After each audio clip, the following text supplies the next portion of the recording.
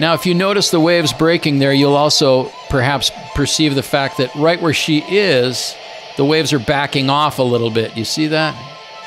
So there is a little deep part there, and she's trying to swim to that board, and she's not making very good progress, and that is her stroke. And for the lifeguards out there, I know this is hard to watch. You want to dive into the screen and make this rescue.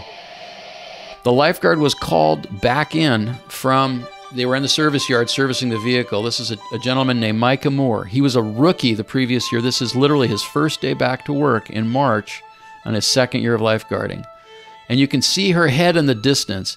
And as he's he's making his way to her now, he's going to turn and put on his fins here and swim out to her. I want you to try to keep an eye on her head because you will see that she is struggling and struggling and struggling and just before he gets to her, she will submerge.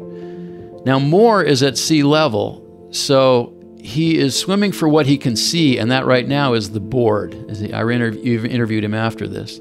I was actually on scene for this later but this footage was taken by a bystander. He goes to the board, and then watch in the upper left-hand corner, you'll see the head submerge or pop out one more time, and then she's gone.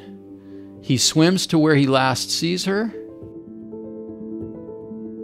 There it is. There she pops up, and now she's submerging and sinking, and Moore goes down. He dives, the buoy goes still, and he comes up with the victim. He signals for help and he starts giving breaths in the water. Could not have done better on that rescue. That's exactly what he should do. San Diego City lifeguards received a 911 call. They back us up on this. This is Sergeant Eric Kerr here, who's already stripped down to his reds. He's ready to go and he's going to paddle out. Now, the second lifeguard going out here is this, again, the state guard uh, who was the vehicle operator. She has been delayed because she's making all the radio calls. She's notifying uh, our dispatcher that there has been a submersion. What they thought at this time was a double drowning, if not a triple drowning. The, the information was very sporadic. She's going on what she had. She made all the calls requesting helicopter support, boat support, neighboring lifeguard agencies responding, any lifeguards available that are still on duty with the state. Again, at 5 o'clock in March, you know, there's just a couple units left. The towers are not being uh, operated on those days. And then she starts making her way out.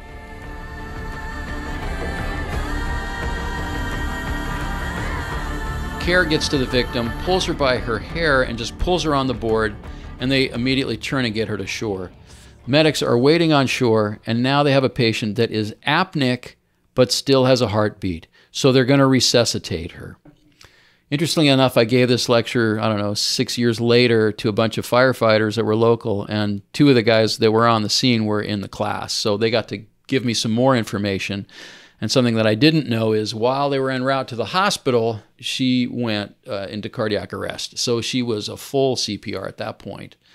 Anyway, the aftermath of this on scene, they recover her. She's unconscious, she's submerged, she's apneic, but she has a pulse intact. Ventilations were performed in the water by the initial lifeguard, which was perfect. On shore, they started a line. They intubated her, in other words, secured an airway and resuscitated her versus BVM. She did. She had aspirated, you know, quite a bit of vomit. Again, all drowning patients vomit at some point. And what I didn't put in here that was the added little piece to the puzzle is she was a full, complete cardiac arrest on the way to the hospital. Now, in the hospital, what the ER staff tends to do is we will put people into an induced coma. They will actually keep them sedated. I, I view it as sort of being tied into like the mammalian dive reflex. You know, your tissues are supported. They're, they're, there's less stress on the body when you can keep the victim, the heart rate very, very low. And so we literally put the person into a coma and allow their body to sort of recover the victim is put on a ventilator on a setting called PEEP. And PEEP is when you have on a ventilator and you can increase respirations and you can set the depth of the respiration.